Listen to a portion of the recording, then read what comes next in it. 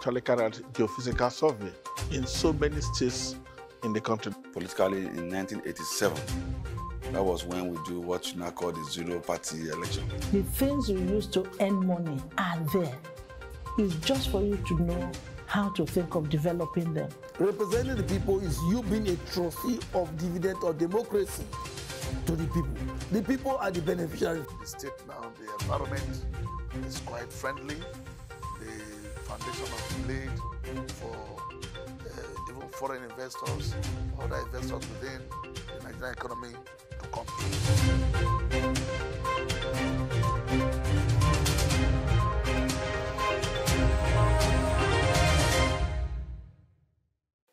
It's interesting to have you join us once more on your personality program, Deltascope. My name is Isioma Adigwe. You know, Deltascope is a weekly magazine program that profiles the good works of some social, economic, and political leaders, where we bring to you their achievements, their works, and of course, their contributions to the prosperity of Delta states.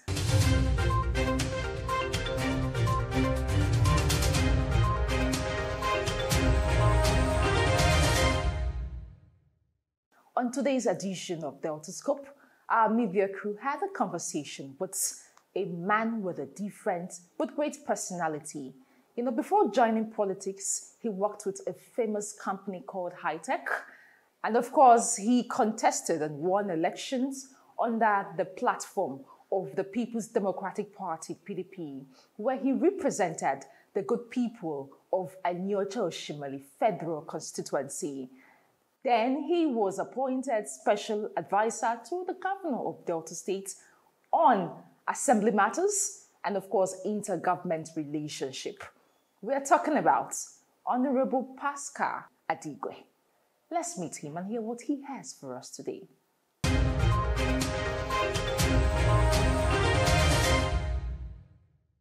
You are a native of Ogugude in Ogwashuku and of course you attended St. Michael's College of Washiko. And uh, you also uh, had a degree in the University of Ibadan, mathematics and statistics. You had an MSc at Benin. You also went for a PhD. We would like you to share your experience in childhood and, of course, that of your schooling. I grew up partially in uh, the urban, uh, uh, what we can call city, and also grew up partially, in fact, a lot more, Okay. in the semi urban, or you could say semi rural place. Okay. So I have a combination of these two exposures growing up.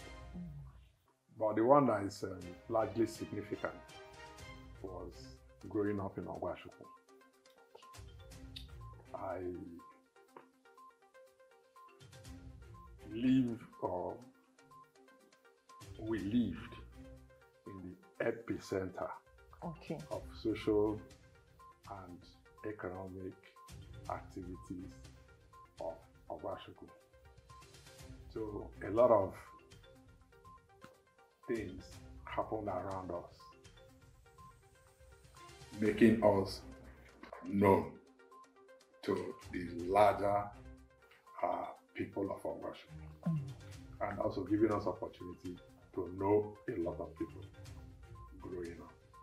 We had the market in our place, we had the garage, we had the, we were living on the road, main road that you know in Ogbash and all. So no matter what, people always come there to converge on that area and all. So it gave us exposure how to people. And then it gave us early development, Okay. early understanding of people, how people live, what people do, the good and the bad, uh, exposure we, we saw. Uh, uh, don't mind the one we imbibed, but at least we saw everything Mm. you know. So I would say it was a rare opportunity. And then it made us smart, it made us knowledgeable, uh, it made us available I made us known. And it kind of also put us in check because at an early age, we already knew the difference between failures and successes, uh, good and bad. And then we saw the clear departure Okay. Of good from bad. And we were spurred at an early stage to imbibe good because we also saw the destination of good, that it is success. Of course. So we had a strong drive towards success. Okay. I went to school in Wash. I had opportunity to also get into big secondary schools when we were growing up. I had intelligence. I had a smart learning school. I had a good results in school. But family dynamics, you know, some have to be university first, mm.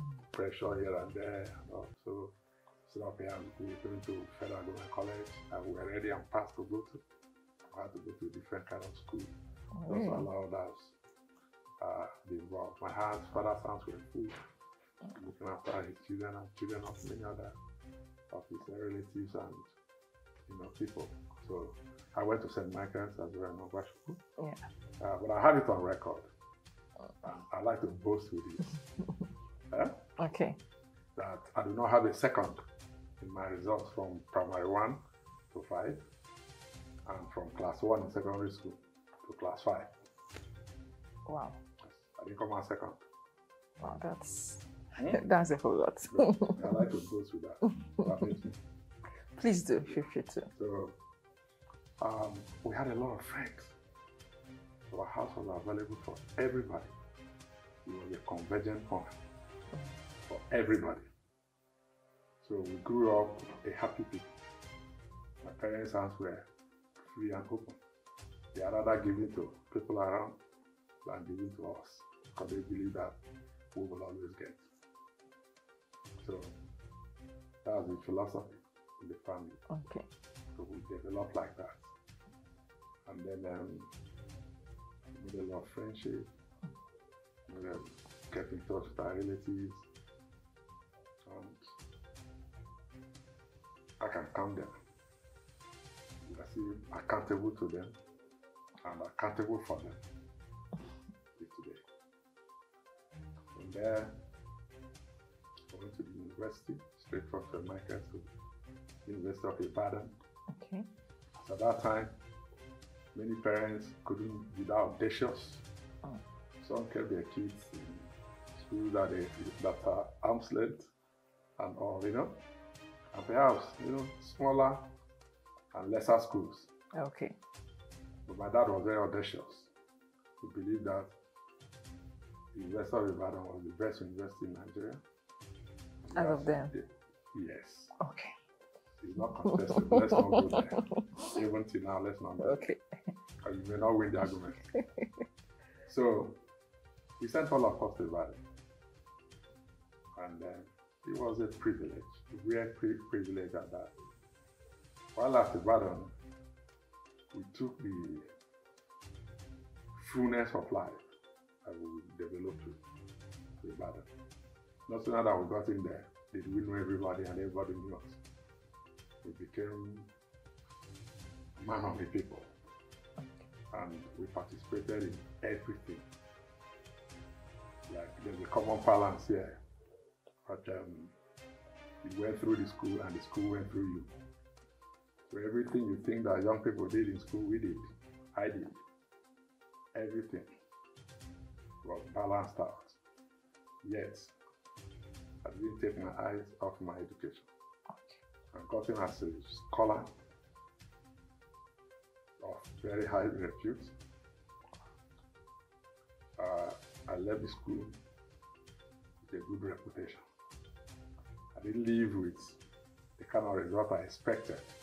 Okay. Yes. Because something remarkable happened. Oh, wow. All along I planned for, I got in, I worked towards studying architecture.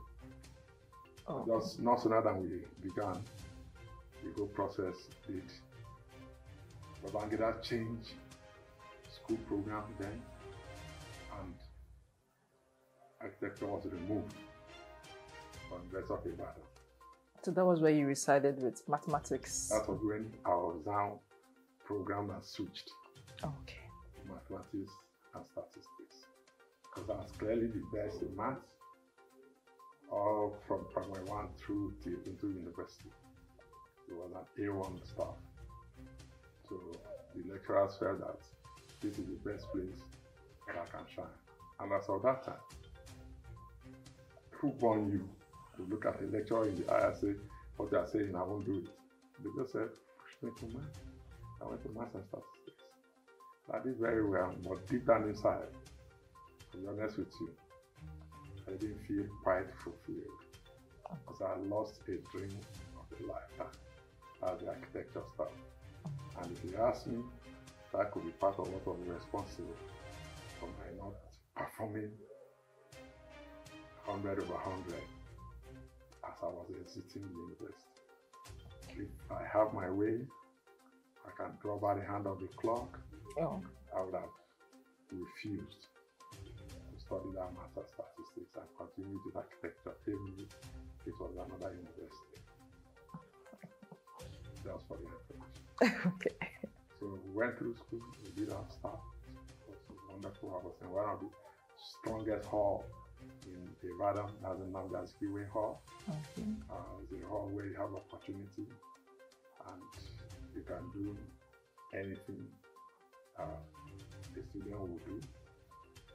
You will be academic, you will also be strong, you will be recognized in school, you will be active in everything. The Unionism was at our beck and call. Oh wow. We could make union presidents and we can remove presidents. We were involved in everything. But I held the back of anybody who said he was from Delta at Ibadan. It was a case of don't touch a Delta and do no Delta no. Otherwise, Pascal and the people will come after you. So that protection that we give to our people later on in life, when we came into politics, everywhere we went to, we were paid back many, many years after. Even till today.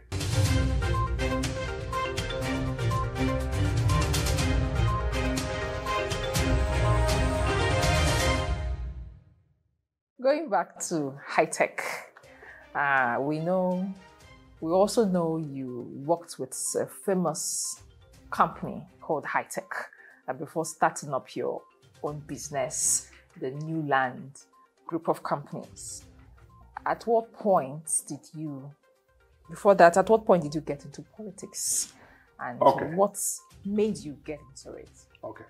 After my first degree, I went to um, the youth service in Jos, for the youth service. I was going to start life actually with University of Jos as a lecturer Okay. uh, to continue and then come to uh, pursue that line. Because that's what my father wanted me to. Tell me to just be a lecturer, become a professor, and then that's that's one that's what he called success. Oh, wow. Yes, be a lecturer, be a book person, and recognized as an academic. That's what my father calls success. Uh-huh. So, but um, during Abiola riot, we left Jos. Okay. So I came to the south, to Lagos. Uh, that's when I found a job with uh, high-tech engineering. So I was with them as system analyst. From there, I went to masters, did all kind of program, went overseas, lived overseas in the US and everywhere, and finally came back. As I go back to Nigeria, I guess he went back to the job in high tech. Okay. And um, I was driving in Ogwashuku one day. One of our cousins, I won down my glass and I greeted him. And he said, Hey, why are you greeting me? I said, Oh, why shouldn't I greet you? He said, Go, you people are driving big cars all over the town. Meanwhile, we don't have people representing us in government. Oh, wow. I said, wait a minute. So what does that mean? He said, you people have abandoned the town. Whoa. I know the love and how passionate I am. about Ogwashuku.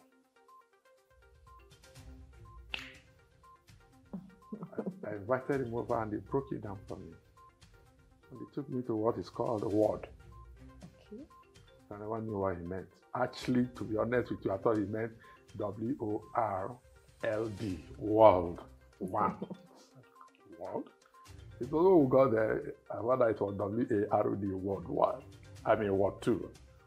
And he got me registered. So we started asking questions. You know, where, how do you guys want me to come in? What do you want me to do? And all. And finally, we found out that where my niche is, is representation. Yeah, I'm not someone of an executive person. Okay. Yeah, but I, I, can, I'm a central tendency. I'm a stand in for people person. You know, right from childhood, I, I led my school for debate and quiz and representation. You know, both secondary, both university, and all. You know, so I like to be there for people. I like to stand in for people. You know, so I found out that my best niche in politics would be representative politics Okay. not executive politics. And where I found that was either in the House of Assembly or in the House of Rep. I found out in the House of Assembly, to be honest with you, my cousin was there.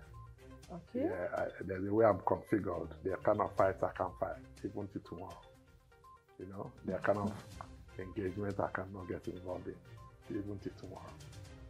Everybody has the way God created them. That's true. So I found out that I won't have the guts to look in my brother's eye, brother Ivor, and tell him I want to take over his position. He wouldn't go down well with me. So I checked, I found out the House of Rep was okay. And I checked, hey, what is it all about? I was like representation, working for your people, going to get things for your people. And I found out I had the capacity, I could do it. I had the age, I had the energy, I had the resources, I had the contact. I was living in Abuja, I had done a lot of stuff in Abuja and all. I found out I was doable. So I put my uh, uh, uh, hand in the plow and then started traversing there. I, I went around the constituency. My dad took me around here from 12 noon to uh, 6.30 p.m. and declared that from what inquiries that he has made, that um, I will win the election. I can tell you the places we went to, five places. Yes, we went to uh, uh, late Senator Igbo's house. Okay. From there, we went to Chief Bandi, the Akuku man that lives in Asaba here. Mm. We went to Onya's house in uh, Ward 4, uh, Ward 4 in Asaba. Okay. Uh, Onya. We went to Diokpa, uh, forgotten his name now, Diokpa in Okwe. Uh, it's a Diokpa Yeah, that's in, yes, Okay. You know, father, Mm. in Okwe. We went to the, uh, place in uh, Nsukwa. Okay. in Nsukka, right? We went to there's the last place, Jibuno. Jibuno. Yes, in Onicha-Olona. Okay. And we saw him. After my dad discussed with them, told him that Lord Michael, your son, go and sleep. That's how we engaged. And uh, the rest is history.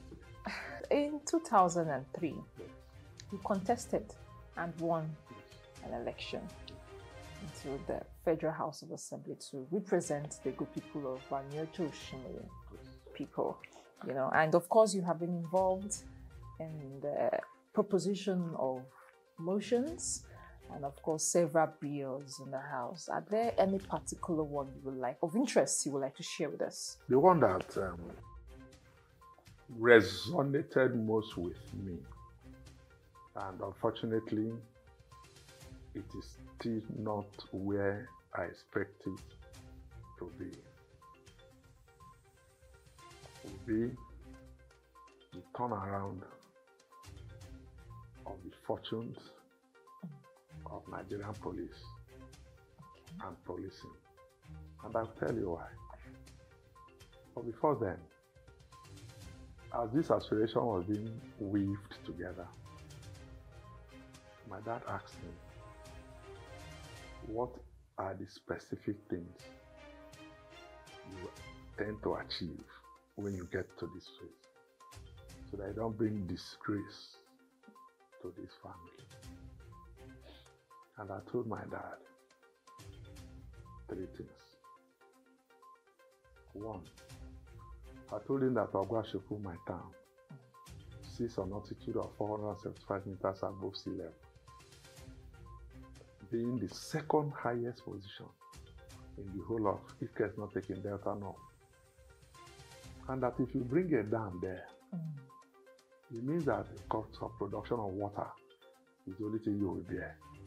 The cost of distributing the water will be zero. And you know what water means. To the glory of God, I got to National Assembly and I was able to achieve that now in Onwashu.